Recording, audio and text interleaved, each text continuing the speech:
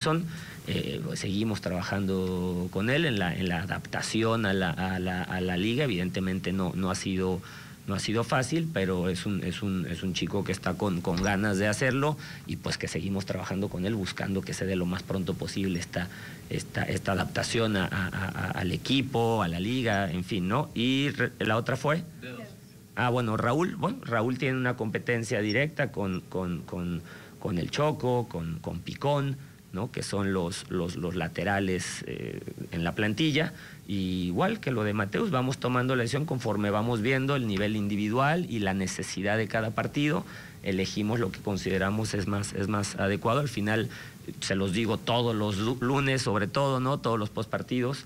Eh, la visión de este cuerpo técnico desde el primer día ha sido que contamos con todos. En los tres torneos que llevamos, todos han recibido, salvo los porteros, todos han tenido minutos de participación, es la manera en que nos gusta gestionar y es el mensaje continuo, que nadie se sienta marginado, no, al contrario, que todo el mundo se sienta parte de y, procure estar listo para cuando se le, se le seleccione y se le elija para jugar.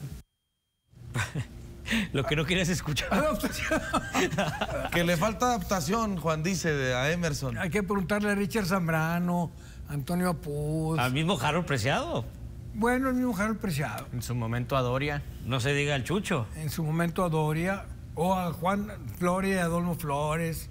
A Sí, Matías a mí lo que me, me impresiona, eh, eso es un lenguaje de muchos técnicos, pero vamos, estamos hablando de, de Fentanes, que todavía se la crean ellos mismos. Es decir, eso es, La adaptación es una mentira.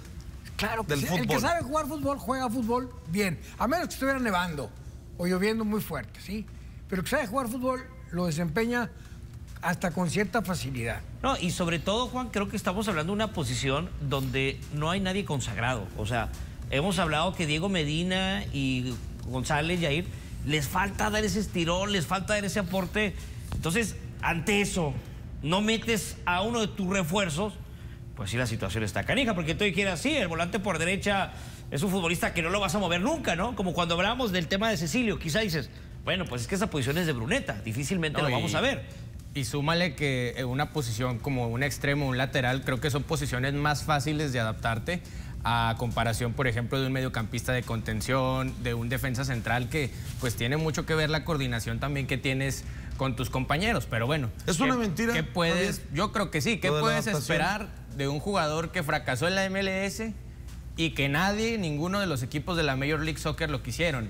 En, en el papel, la MLS es una liga inferior a la liga mexicana y si allá no pudo y si allá nadie lo quiso, pues ¿qué te hace pensar que va a tener éxito Emerson Rodríguez jugando para Santos si desde que llegó hemos visto prácticamente nada? A, a- Incluso a está mí borrado. Me, me- me suena más a lo, a lo de Pisichilo y lo que nos llegamos a enterar, ¿te acuerdas?